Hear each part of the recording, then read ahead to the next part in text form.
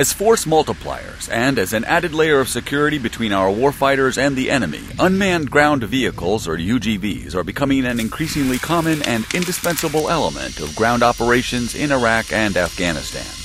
The Autonomous Platform Demonstrator, or APD, is the DoD's latest effort to show the state of the art in technology and utility with a large scale UGV platform. The results speak for themselves. At 9.3 tons, the APD is clearly a large scale platform. Only two can fit inside a C 130 aircraft. With a top speed of greater than 50 miles an hour, the maneuverability to perform a lane change at top speed, and the capability to turn on a dime, the APD is extremely nimble on the street. Toss in a cross country speed of greater than 30 miles an hour, the ability to climb 39 inch obstacles and traverse gaps 39 inches wide. The APD is also an off road beast. On paper, it's a skid steer six wheel drive vehicle powered by six in hub electric drive motors. In the field, it is a force to be reckoned with. The motors inside each hub can be powered by electricity from an onboard diesel generator or from a series of lithium ion batteries. The generator also recharges the batteries.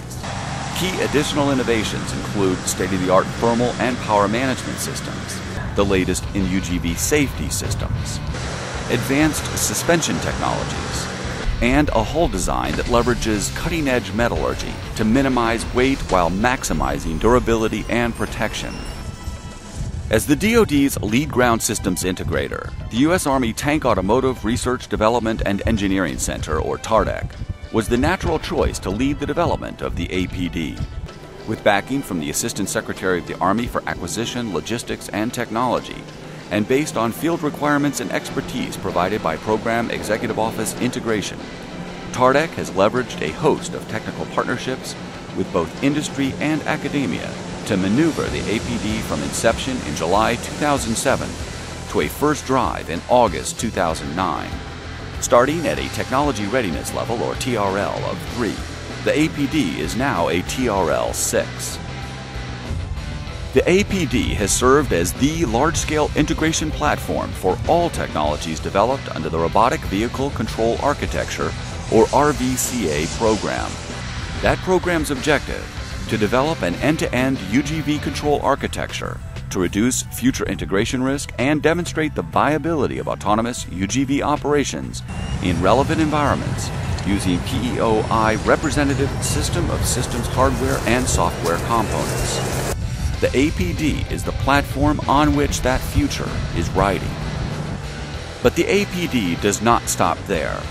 It will also serve as the integration platform for the safe operations of unmanned systems for reconnaissance in complex environments, or SOURCE program. That program's objective is to develop and demonstrate perception, intelligence, control, and tactical behavior technologies for autonomous collaborative unmanned systems and soldiers for conducting safe operations in dynamic urban environments.